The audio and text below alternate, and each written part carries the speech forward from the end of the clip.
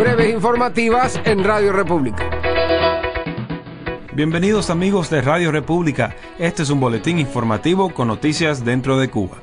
Desde horas de la mañana de este 27 de noviembre aparecieron sitiadas las viviendas de Damaris Moya Portieles, presidenta de la coalición central opositora en la ciudad de Santa Clara, al igual que la vivienda de Jorge Luis García Pérez Antúnez, secretario general del Frente de Resistencia Orlando Zapata, en Placetas. Según Antúnez, el sitio se debe al trabajo de reestructuración que está realizando la CCO y detalló que hay numerosos autos patrulleros tanto alrededor de su vivienda como la de Moya Portieles. A pesar de la vigilancia, la opositora afirmó que han llegado a su vivienda numerosos activistas de derechos humanos, entre ellos Sara Marta Fonseca Quevedo, Yaite Cruz Sosa, Arturo Conde Zamora y Oreste Fernández Guevara, entre otros. Se reportaron varios arrestos de otros activistas que intentaron llegar al encuentro, pero esto no impedirá la actividad, según Antunes.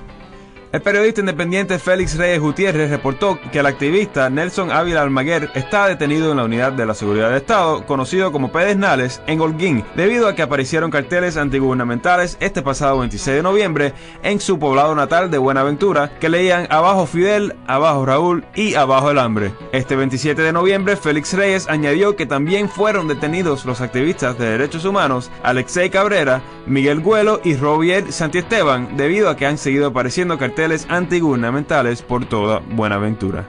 Rolando Rodríguez Lobaina, líder de la Alianza Democrática Oriental, denuncia que permanece detenido el presidente de Jóvenes de Bayamo, Joandri Montoya Avilés, desde este pasado lunes 26 de noviembre, cuando este se dirigía a Santiago de Cuba. Según Rodríguez Lobaina, se desconoce el paradero de Montoya Avilés, por lo que lo da por desaparecido y reclama y exige su inmediata liberación.